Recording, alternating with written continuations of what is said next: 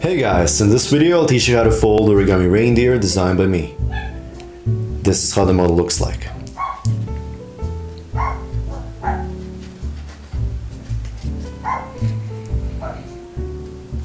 You can use pretty much any paper you can get your hands on. I tried folding it from double mulberry, wrapping paper, which you can get pretty much anywhere, origami paper, also known as kami, I made actually two of those, and even printing paper, and as a matter of fact that's the paper we'll be using today. This one was painted with acrylic paint on one of the sides, that way you can distinguish, well, white side and the colored side. As long as the paper is about 15 centimeters, that's around 6 inches, you should be fine. Anyways, let's get back to folding. Let us begin. We'll start off by folding paper diagonally in half in both directions. Make sure you're on the white side of the paper and bring those two corners together.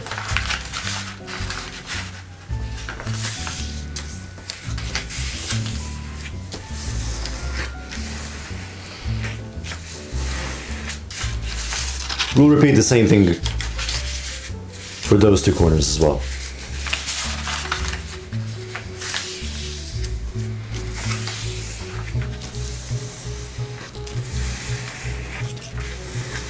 Unfold the paper. And now we'll fold it horizontally in half. But you don't have to do it in both directions. One is sufficient. Alright. Unfold the paper and rotate it so that this newly made crease is pointed in that direction. We'll bring those two corners to the center point.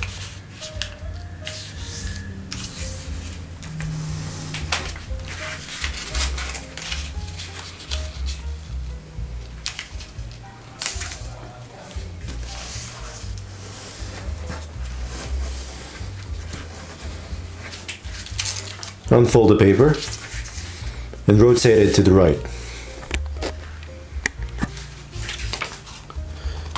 We have a diagonal crease over here. We're going to bring this edge to that diagonal crease.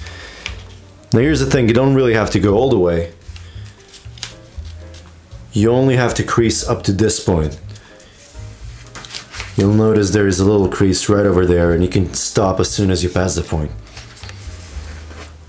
Unfold the paper and repeat the same thing on this side. Again, right over here. All right, and now we're going to rotate the paper this way and make a crease that goes through this point and that point. Now what I like to do is just flip the paper over, locate those two creases, and pinch the paper slightly and do the same thing on the right one. So now when we turn the paper over, it will be much easier and we can use those little guides to guide the crease through. Alright. Now, turn the paper around like this. Now we'll bring this corner up on that side. You can see the diagonal crease ends right there, so fold the corner up to there. And you can fold all the way through.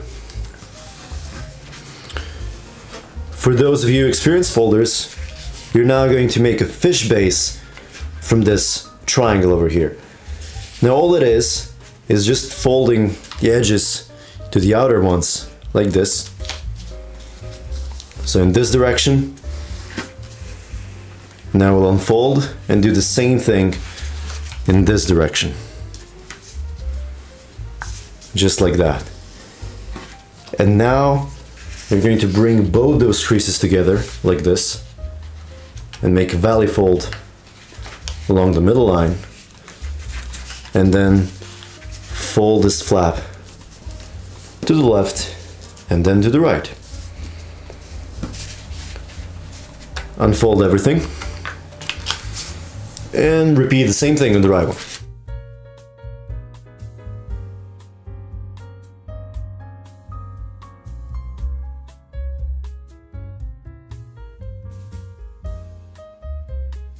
To the right and to the left.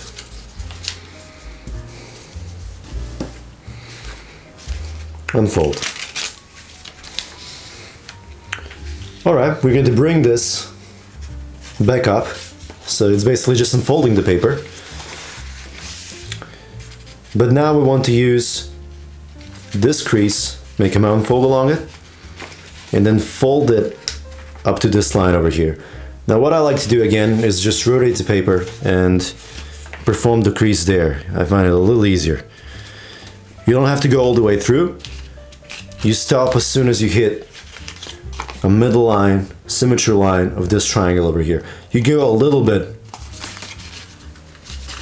further than that, just to make sure. Just like this. Now unfold, and we'll do the same thing. To the right. All right. Rotate the paper on the colored side again. And now we're going to make a mountain fold along this crease and fold it up to here. Just like that. Increase all the way left, but stop as soon as you hit this point. It's the crease right over here. And that is actually a main symmetry line here. Unfold as you can see, all we've done is just another power line to those two. So let's do the same thing on the right.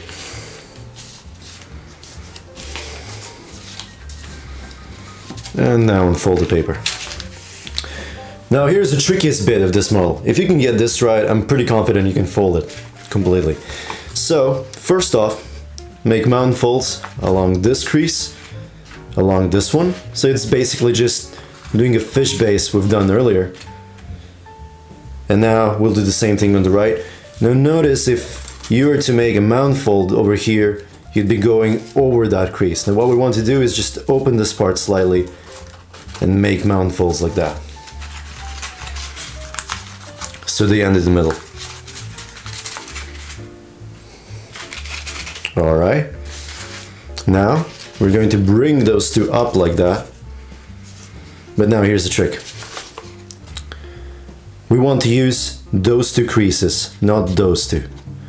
So what I like to do is use my three fingers like that, pinch the paper like this, so bring those two edges together like that.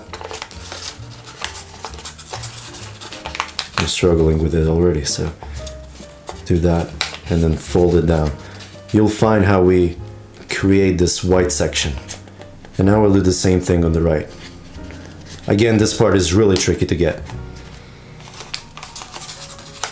Just like this. And now you can flatten the paper.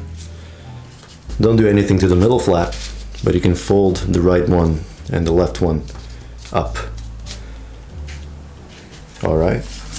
I'll just unfold this so you can see the movement once again. So this is what is happening. We're bringing those two to the right, to the left. But now you're pinching this part, bringing those two edges together, and using the bottom creases here. So make sure this white part appears.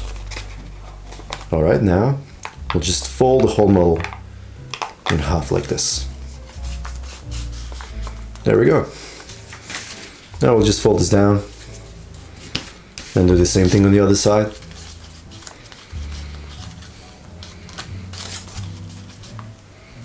And this part is body of our reindeer. Now let's work on head and the antlers. First step to making the head is folding this edge to this middle crease here. Just like that. Now bring this edge to this one over here, essentially just folding the angle in half, like this. And now we'll turn the paper over like that, and then fold it in half once again. Now you'll notice how this little portion, this little corner of that triangle hits this corner right here. just like that. Make sure you apply quite a bit of pressure here. We want to make really sharp creases. All right, turn the paper around again. So this is what you have now. I'm going to unfold this slightly and make a valley fold along this crease, like this. I'm going to hold this with my fingers and then open this part slightly. Make sure you're firmly holding this and just pull the paper apart from here. Alright. You'll find the paper will want to flatten naturally, so you just need to help it a bit, like that. All we've done is just a reverse fold, which we're going to do on the left side now. So make a mountain fold along this crease, and at the same time you're pushing the paper inwards like that.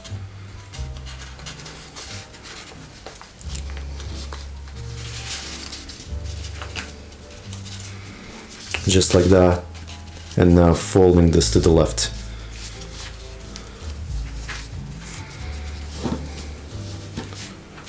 All right. Now fold the corners in half like this.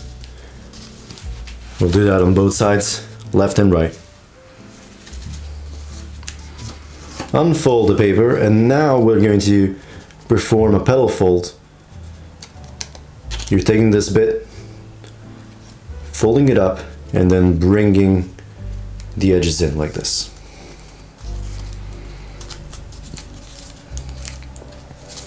And we're going to keep it up like that. Okay, that looks great. Now,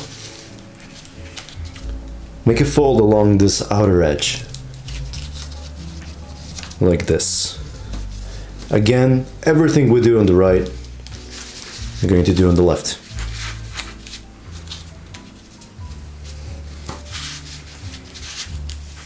Alright. Now do a reverse fold along that crease. You're taking this bit, folding it up like this. Make a mountain fold along that crease.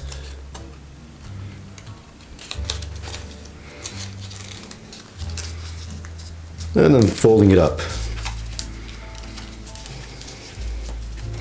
Now obviously we can't do the same thing on the left. That's why a couple of following steps we're to focus on the right side. Gonna fold this to the right like that. You'll find it's equivalent to folding that edge to the one below it. Like this. Make sure you got a nice pointy end right there. Alright. Now fold it back and then fold that corner in half. Like this.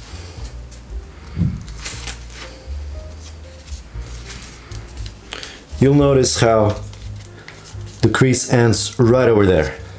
And that is no coincidence. Alright. Unfold that. Fold it to the right again. And now we're going to bring this point right over there. So take this flap and just fold it downwards like this. And you'll see this part where it'll just want to collapse naturally. And now just flatten it down. Make sure you get a pointy end right over there. Like this. Once we fold it down, we're going to fold it up once again. Okay, so we're making antlers now. Now you can notice in the real model, there's a color change right over there. Maybe you'll see a little easier right here. And the way we achieve that is with this step. So focus on this crease over here. We'll make a mountain fold, but make sure you're not folding this flat. So we just want to fold this slightly to the right like this, free it up, and then make a mountain fold. So I'm not actually folding through any of this. And now we're making like a fish base in a sense. We're just pushing the paper inwards, folding all the corners in half. It's a lot easier than it sounds. Like this. And now we'll just flatten it down. Cool. All right. Now we'll bring that corner to this one. So free this part up and then just fold it up. The crease entrance ends right there. Like this. And now just fold that edge to here and fold it down. Now we'll make a reverse fold along this crease. We'll just pre-crease that like that. Open it up. Make mountain folds.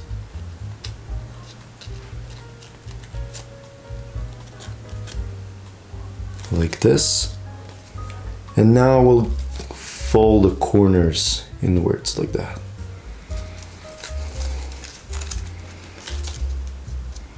Now, you might be a little frustrated at this point because it's really hard to get those corners pointing and get the folds perfect. But don't worry, that's completely fine because we're going for this organic look, so slight imperfections are just extra features. Alright, this is the first antler, now we'll repeat everything on the left side.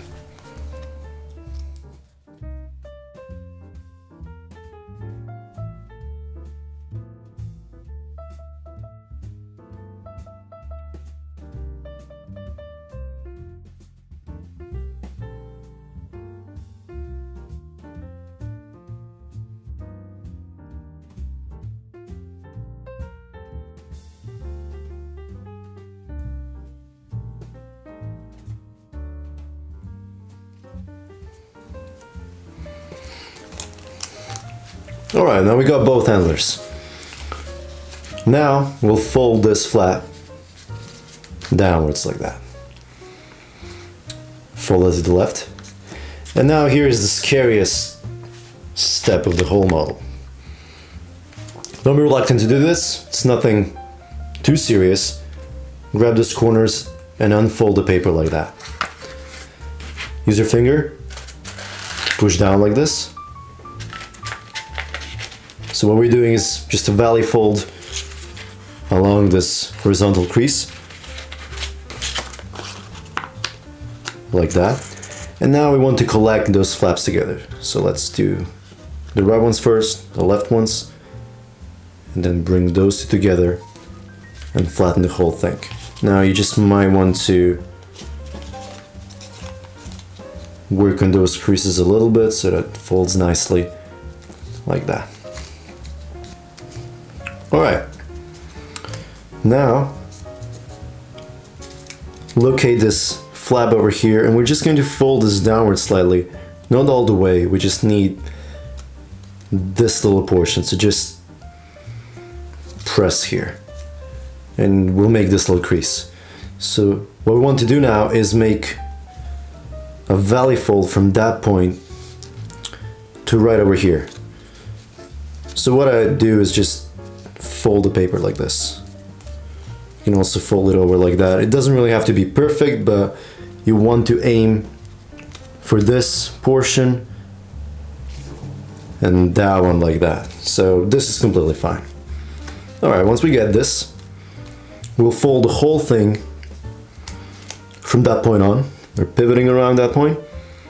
That's our anchor folding it to the left. Now, for the reference point, I usually like to use those two. We want to make them parallel to that, but if we're slightly off, that's completely fine. So, I like how this looks like.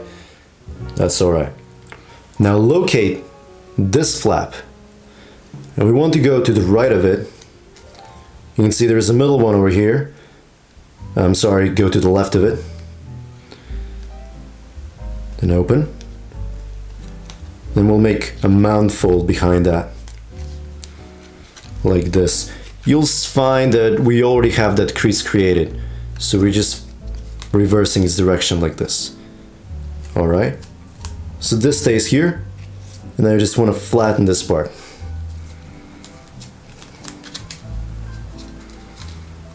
Like this.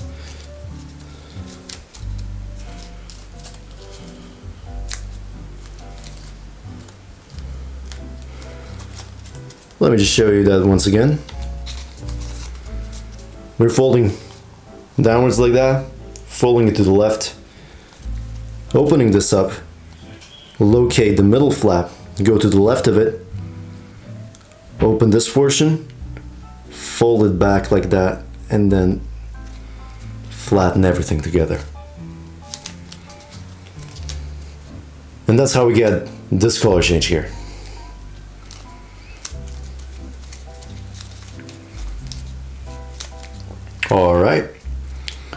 Now we'll fold this to the right as far as it goes. And now fold it up. Again, I'm using the ground as a reference. We want it perpendicular to those two. So something like this will do completely fine. And now we're going to fold the angle in half. Like this. Now fold it to the left, just take one of them. Now you can stop right here where those two meet, but what I usually like to do, and this is just a preference, is just go a little bit further. That way I get this slightly curved portion, and I like to just use that to make this curvy bit like that. We'll take one of those flaps, fold it up like this. No reference points to your liking. And now I just like to curve this portion a little bit. Those are endless, so You've got all the artistic freedom at your disposal. And I will do the same thing on the right.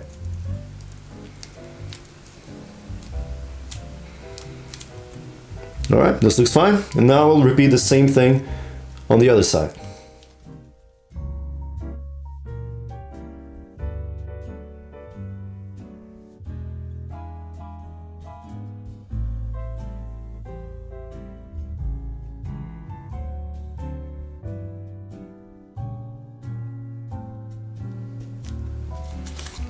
Alright, this looks good.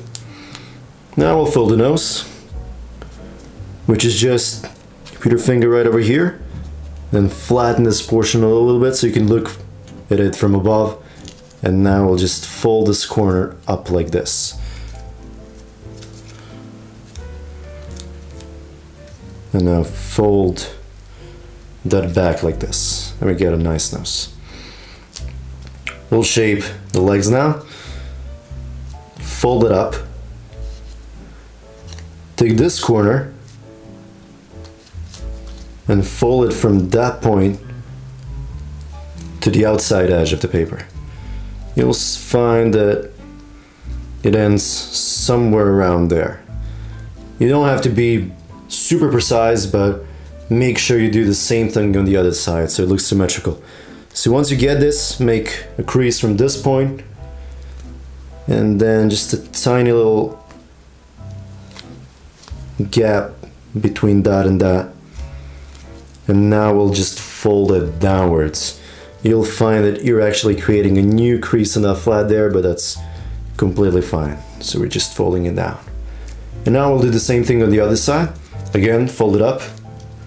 And then fold that corner to the outside edge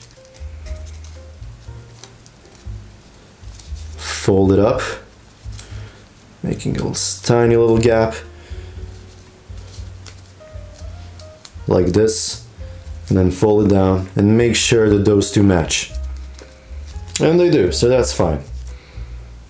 Alright, now let's do some more shaping. I'll fold this up. So I'm not actually making an actual crease over here, I'm just bringing it up like that. And now fold this down slightly somewhere around here. This is a feel thing. So you're folding it down and now you're narrowing the legs. I usually like to end somewhere around there. But again, that's a personal preference and then I'll fold this down. Alright. Now we just have to do the same thing on the other side. So I keep this part open and then try to match what I did on the left to the right. So I'm constantly checking the left side to make sure that it's symmetrical. Like this. I think that'll work just fine. All right. So now the model is pretty much finished, but we want to add a couple of more curved creases to give it more volume, because this way it looks kind of flat. So what we want is something like this. So let me show you how to do that.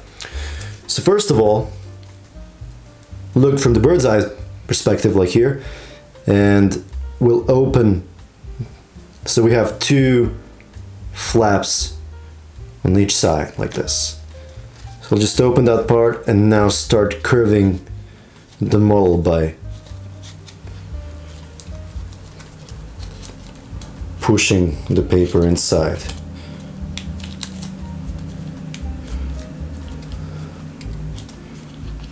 Like this.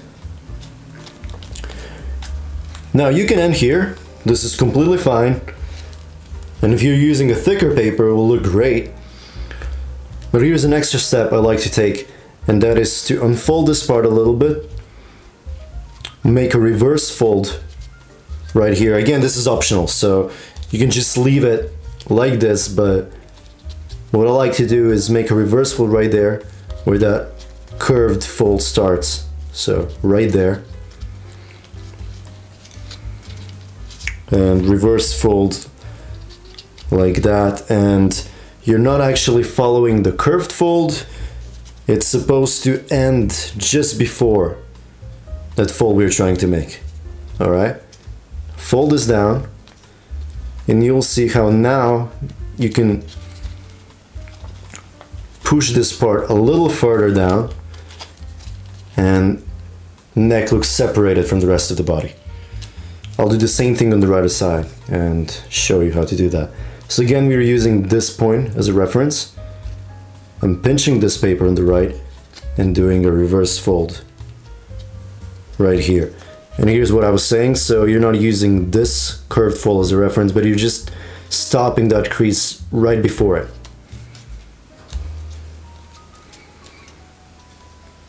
Like that. Because that way you can curve this further and it will look good. Now, I'll just make sure those are symmetrical, so I'll adjust this crease a little bit. Just like that. So here's another thing we can do to it. Get your fingers inside this pocket and then try pushing this downwards. Now help yourself by going from the other side and just making this portion a little round. This will help it stand and it will make its belly a little fuller.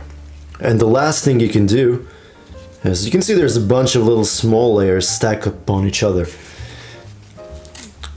And what you can do is just spread them apart like this. Now I won't do this on this fold because I don't really have tweezers with me right now. But the way I did this was just push the first one to the left and then the second one and so on and so forth by using tweezers. If you're using a thicker paper, this will be much easier than on the thinner ones. But you can skip that part if you don't feel like doing it. And I just remembered another thing we can do to the legs is make this little curved fold like that. It just adds a little more character to it.